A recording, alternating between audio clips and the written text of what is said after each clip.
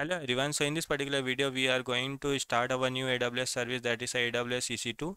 AWS EC2 is a very much important from a data engineer perspective because as a data engineer, we try to deal with a large amount of data and if you have to process large amount of data, you should have a good computation capacity. You should have a good computation capacity which can scale up and scale down based on your data size. And AWS EC2 provides secure, resizable computation capacity in the cloud. That's why it is very much important. Before coming to the cloud what actually we were using? We were using our uh, normal laptop. You have a laptop.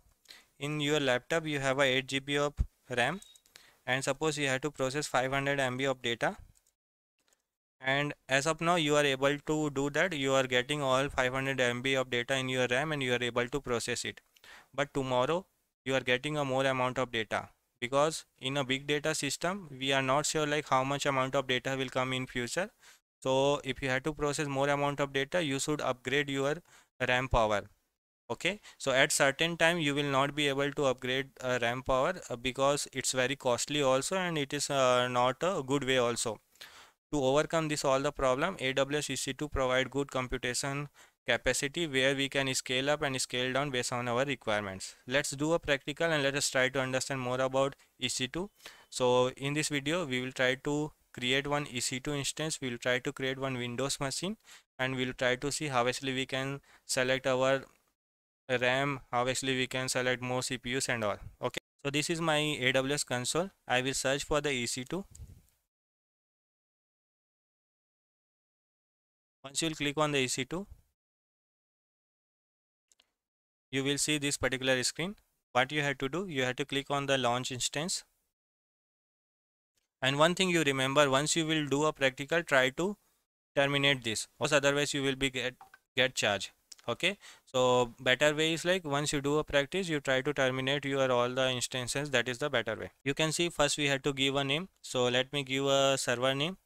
I'll give the windows ec2 something. Any name you can in bottom you can see we have a amazon machine image. So there are so many image which is already available based on the certain requirement. So suppose if you require a windows so you can select from windows. Suppose you want a linux machine you can select a windows linux also. As of now we are going to have a windows server so i'll select that. I'll select the windows.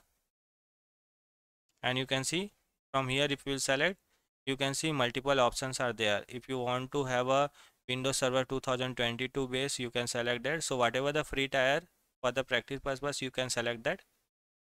And the bottom one uh, whatever is not free tier it is a chargeable. So we'll select with the Windows Server 2022 this is the free one. Bottom one you can see the instance type. So we have a multiple instance type that actually we'll discuss in upcoming lecture. You can see as a free tier uh, we are eligible for the t2.micro and it is uh, completely free. It is providing the one cpu 1 gb of memory. But suppose you want to have a more uh, memory and more gb so there are multiple uh, are available. Like suppose you want to have 4 cpu 8 gb memory for processing you can select that. Like that you will get a multiple option so based on your requirement you can select that. Because uh, we want to have we are just doing a practice so we'll select the free tier. Here we'll get the 1 cpu 1 gb memory only. And after that the key pair so we'll click on the create new key pair. Enter a key pair name. So I will just give the windows and click on the create key pair. And we'll try to save here.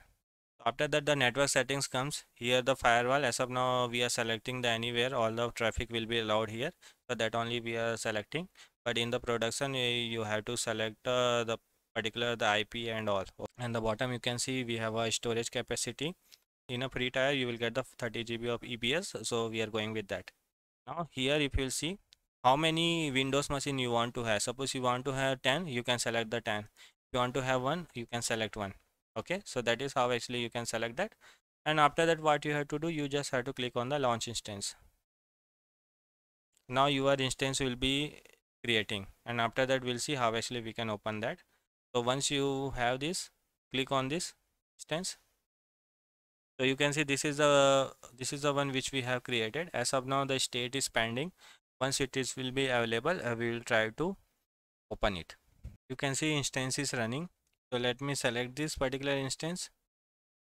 Let me go to the action. Let me click on the connect. And now you can see the RDP client. So click on this. Download the remote desktop file. So I'll just select this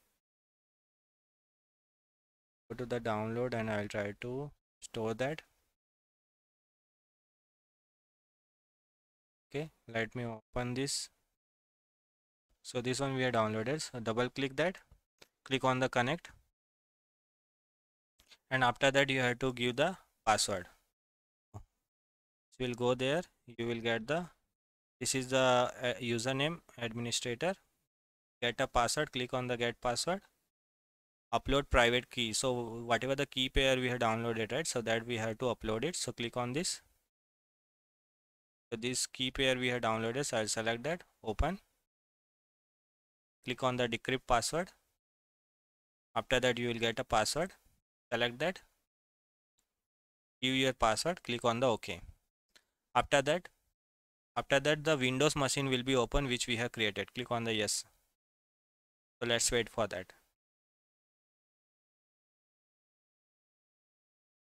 so you can see this is the new windows machine which we have created new server we have created. This is like a new virtual machine which we have created.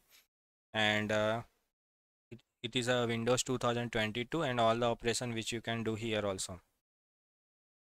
Now if you'll see this is the windows machine which got created right? This actually we have created and all the operation which you can perform. As of now we have selected a one cpu 1 gb memory. That's why it's slow but based on our requirement and based on our needed we can select more power and uh, that actually we can use as a server and uh, we can perform our operation for the processing.